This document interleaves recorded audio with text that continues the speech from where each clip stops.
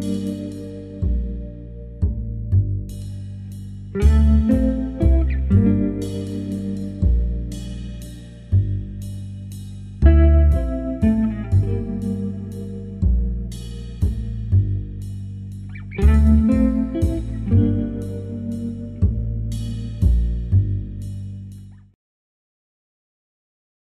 Proszę Państwa, kolejny odcinek Ludzie Pasje Miasto, realizowany przez Miejski Dom Kultury w Częstochowie. E, Jak Państwo wiecie, program ma na celu, to też taka misja, która mi przyświeca, archiwizowanie ludzi, którzy robią fajną robotę w Częstochowie, w regionie. W ogóle rozmowa z ludźmi, którzy mają ciekawe pasje.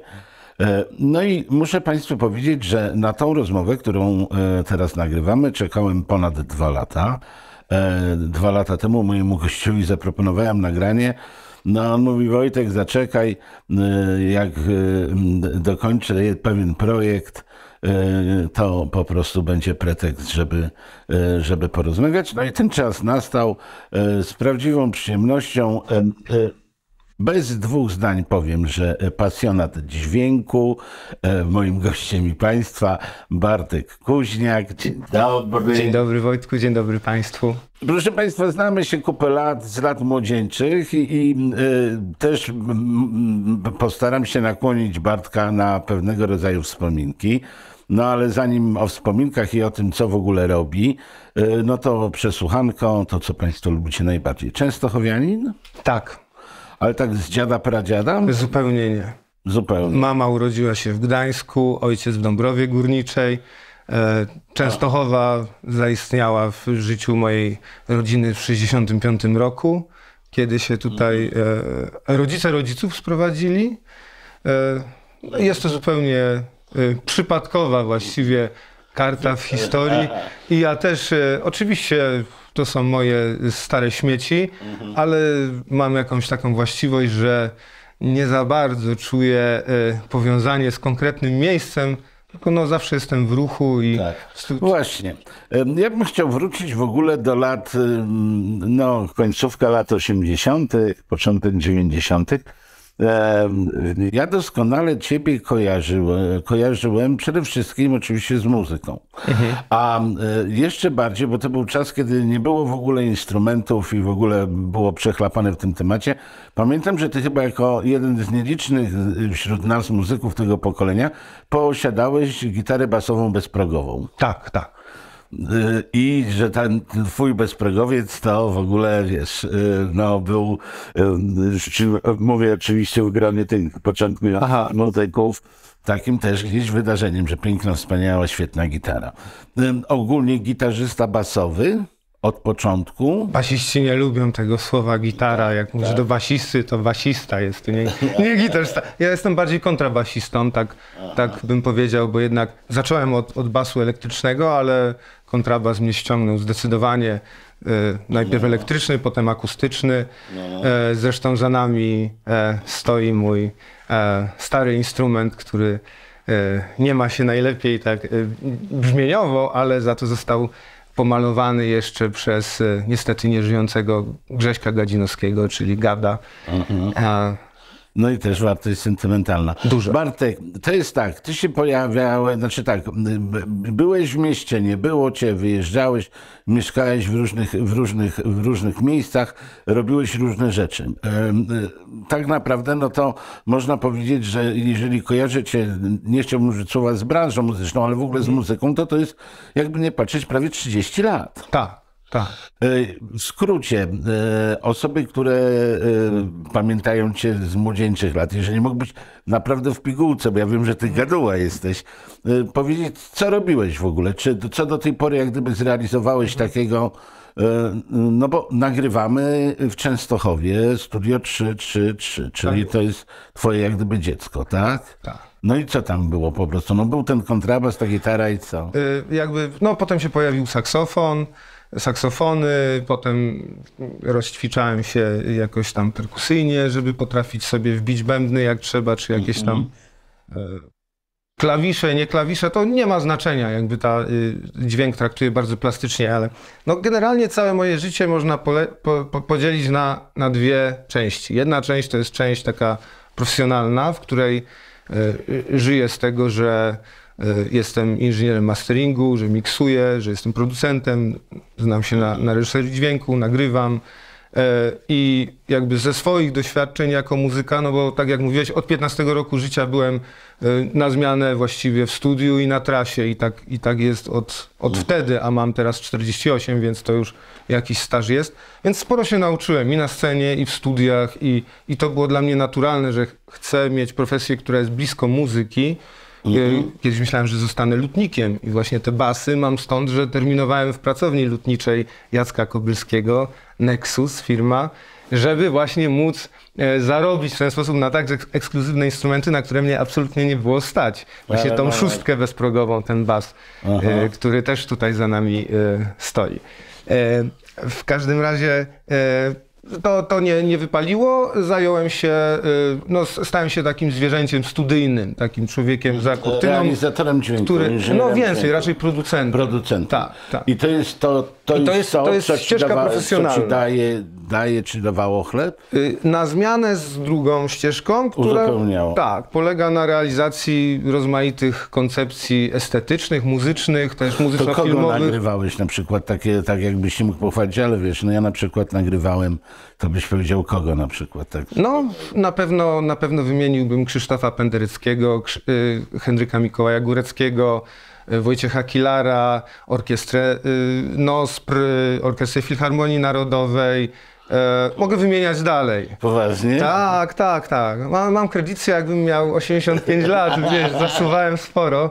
E, przez lata właściwie e, w sumie to tak mnie to za, y, pociągnęło y, y, i też duża inwestycja w studio. Ono było naprawdę jednym z pierwszych, jedną z pierwszych takich placówek robiącą high definition surround, bo właśnie tak te nagrania wymienionych robiłem u boku mojego mistrza Andrzeja Lipińskiego.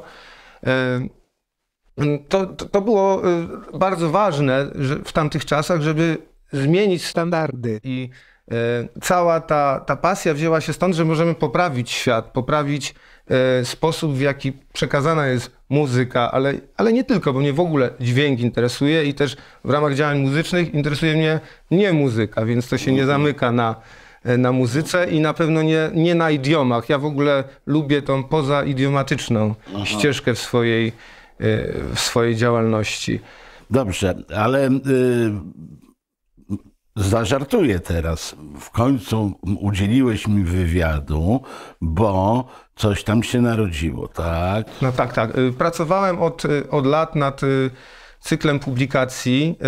Nagrałem oprócz tam powiedzmy nie wiem, kilkuset masteringów dla klientów, około setki produkcji dla klientów, to swoich autorskich zespołów, w których uczestniczę, współuczestniczę, czy robię solo.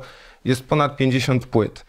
Z tych 50 y, płyt plus nowe rzeczy, które, y, które mam na, na warsztacie od lat, bo to są współprace międzynarodowe, czasami częściowo korespondencyjne, no trzeba po prostu poczekać na, na moment często i to jest o, ogrom pracy.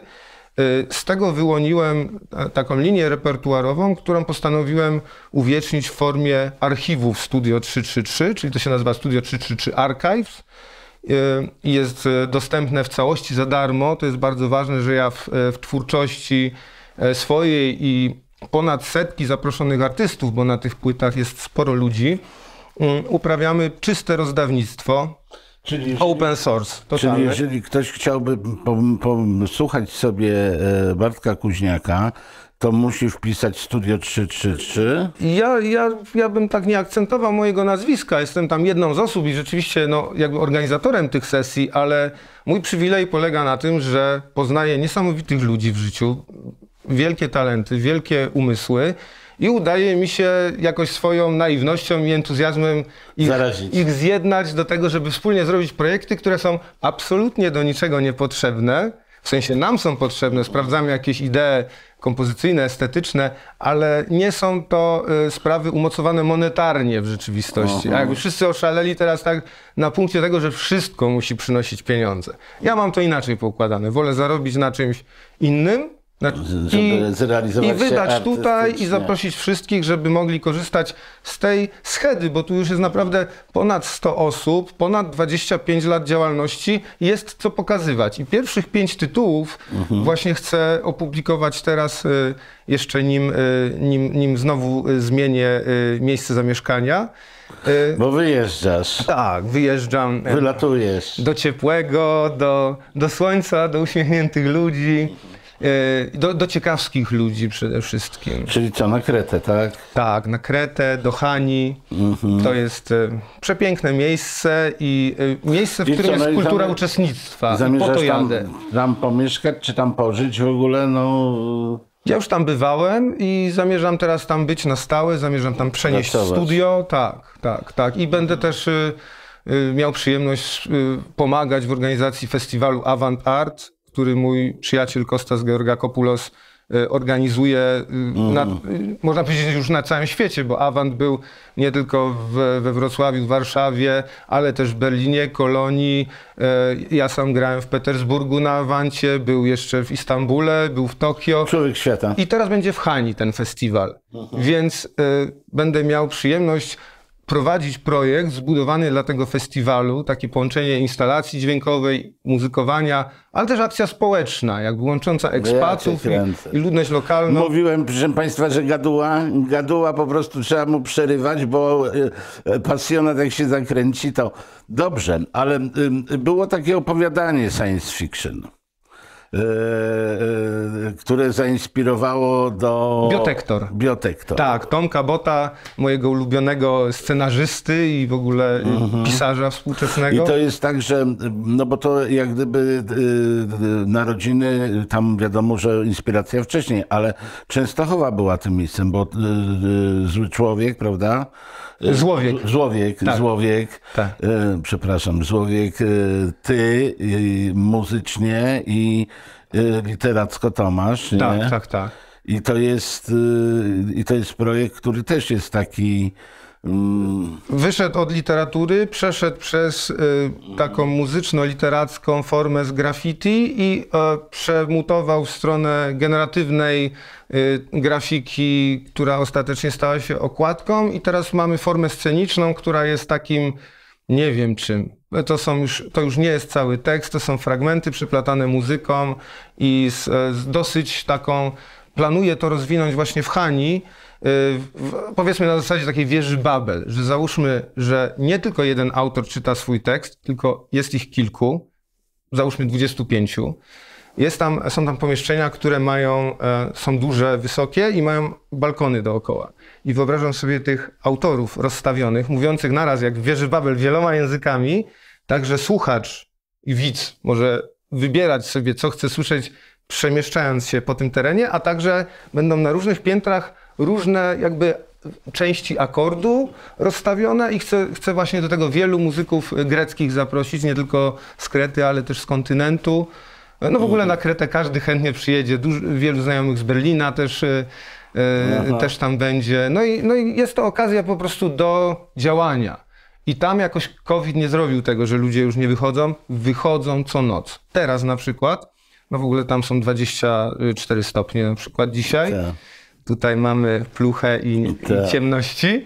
Y, Jest w tygodniu, nie ma sezonu. Każdego dnia, jak tylko się ściemni, miasto się wypełnia i do późnych godzin ludzie żyją. Rozmawiają. Nikt nie chodzi pijany. To jest ciekawe, że tam ta impreza Tak. jest inna.